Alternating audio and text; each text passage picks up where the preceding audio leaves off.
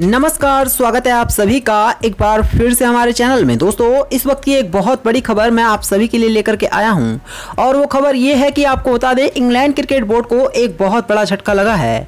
जी हाँ, आपको बता दें, बैन स्टॉक, जो कि दोस्तों इंग्लैंड क्रिकेट के एक महान ऑलराउंडर माने जाते हैं, उन्होंने अचानक से ही संन्यास की घोषणा कर दी है। यानी कि अब वो इंग्लैंड की तरफ़ से कोई भी इंटरनेशनल मैच हाल फ़िलहाल में खेलते हुए नज़र नहीं आने वाले हैं। अब हम हाल फ़िलहाल में कह रहे हैं, इसका मतलब क्या है वो समझिएगा।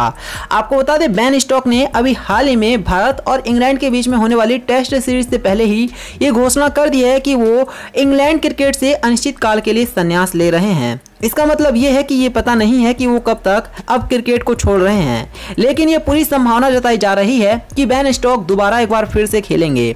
इसके पीछे बड़ा कारण ये है कि बैन स्टॉक का कहना है कि वो पूरी तरह से मानसिक स्वस्थ होना चाहते हैं। पिछले लंबे टाइम से तमाम क्रिकेटर बायोबॉल के नियमों का पालन कर रहे थे, जो कि दोस्तों, तमाम खिलाड़ियों के लिए एक बेहद ही बड़ी समस्या थी। और ठीक ऐसा ही हुआ था किसी और के साथ नहीं, बल्कि बैन स्टॉक के साथ। और इसी वजह से उन्होंने भी साफ़ कर दिया कि उनकी भी परेशानी पिछले लंबे टाइम से बढ़ी थी और वो अपनी फैमिली से दूर रहने की वजह से वो बहुत ज़्यादा परेशान थे और कहीं ना कहीं उनकी मानसिक स्वास्थ्य पर भी बहुत बुरा असर पड़ा। उनका कहना है कि मैं भी एक इंसान हूँ और इस तरह से मैं अपनी फैमिली से हमेशा दूर नहीं रह सकता।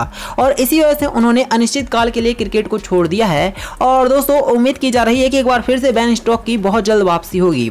ठीक इस टाइम पर संन्यास लेना कहीं ना कहीं बैन स्टॉक का टीम इंग्लैंड को बहुत बड़ा झटका देगा, क्योंकि आप सभी को पता होगा कि इंग्लैंड और इंडिया के बीच में टेस्ट सीरीज़ की शुरुआत होने वाली है। और ऐसे में बैन स्टॉक का अचानक से ही चले जाना, जिससे निश्चित तौर पर इंग्लैंड की टीम बेहद ही कमज़ोर पड़ सकती है। तो उम्मीद है आपको ये जानकारी अच्छी लगी होगी। वीडियो को लाइक करना, इसे शेयर करना और चैनल को सब्सक्राइब करना। धन्यवाद।